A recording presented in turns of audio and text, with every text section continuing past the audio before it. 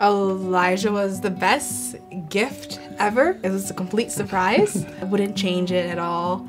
We had a rough pregnancy. I was sick the whole entire time, and when he was born, we were expecting him to be two pounds and in the NICU for a couple months, but no, he was four pounds, 15 ounces and healthy, and we got to take this cute little tiny thing that fit in both our hands home, and it was uh, the scariest thing. I remember coming home and we're just like, what do we do now? Yeah. It's amazing just in the last couple months because he wasn't talking for a little while.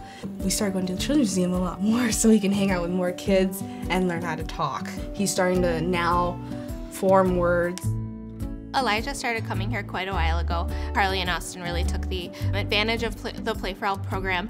Um, they come to the Children's Museum at least once or twice a week, and it has been amazing watching Elijah grow, specifically watching Elijah grow with other kids. One of the greatest things about the Play for All program is that it really does reach a lot of people in the community.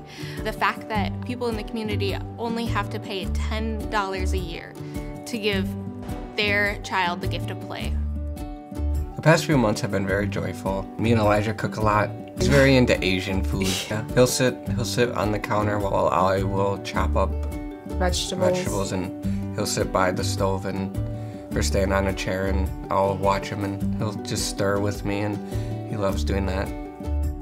It's nice knowing that the Children's Museum is there. We um, have a public health nurse, and our nurse told us that we can get the All Pass. One of our goals through the program is to connect families to community resources.